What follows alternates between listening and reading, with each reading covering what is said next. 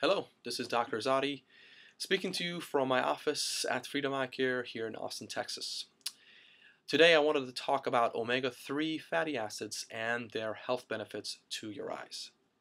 The number one reason that omega-3s are prescribed at our office is to help patients who present with dry eye symptoms, which include redness, burning, uh, itching, a gritty or sandy sensation on the, on the eye.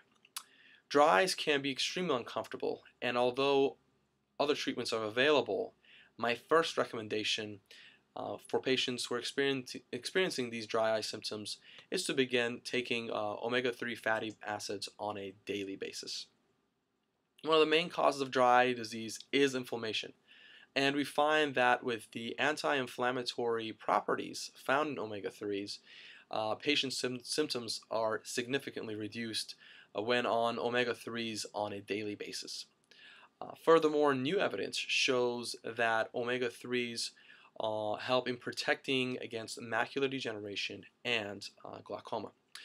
It's important when selecting omega-3 supplements that you're choosing one that is high quality and from a credible source.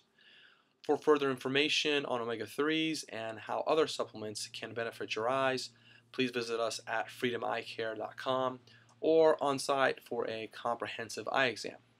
With that examination, we'll able, we're able to discuss a personalized approach in tailoring the proper supplements uh, that will best aid your eye health. Uh, until next time, this is Dr. Azadi. Have a wonderful day. Thank you.